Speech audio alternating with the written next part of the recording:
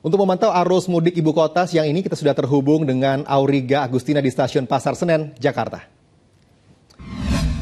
Halo Riga, bagaimana suasana arus mudik saat ini? Padahal belum memasuki masa cuti lebaran, tapi antusiasme calon penumpang untuk melakukan mudik lebih awal dari stasiun Pasar Senen ini nampaknya cukup tinggi. Dari pagi kami memantau, suasana stasiun Pasar Senen ini cukup ramai dan saat ini sebagian dari calon penumpang sudah memasuki ke area peron. Dari data yang kami terima, per hari ini ada sebanyak 6.900 calon penumpang yang akan diberangkatkan melalui stasiun Pasar Senen. Nah, Rian, uh, saya penasaran nih, kira-kira mereka ini akan ke mana saja ya? Kebetulan di belakang saya ini ada calon pemudik. Kita tanya-tanya sedikit kali ya. Halo Ibu dengan Ibu siapa? Estu. Ibu Estu. Ini Ibu Estu mau ke mana rencananya Bu? Ke Surabaya, mudik ke Surabaya. Oke, mau mudik ke Surabaya. Ini kenapa melakukan mudik saat ini Bu?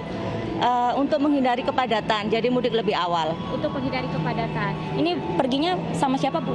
Sama putri saya. Berdua saja. iya, gitu berdua ya? saja. Rencananya berangkat jam berapa ini Bu? Jam 11 lebih 10.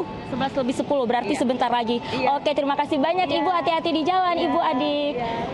Nah itu dia Rian dan juga pemirsa bahwa memang ada sejumlah tujuan favorit eh, untuk penumpang dari stasiun Pasar Senen ini. Di mana dari data yang kami terima tujuan favorit di Provinsi Jawa Timur ini masih didominasi oleh Kota Malang dan juga Surabaya. Sementara untuk Provinsi Jawa Tengah ini didominasi oleh Kota Semarang, Solo, Purwakarta dan juga Yogyakarta. Sementara demikian Rian kembali ke Anda di studio. Baik, Auriga Agustina melaporkan langsung dari Stasiun Pasar Senen, Jakarta Pusat.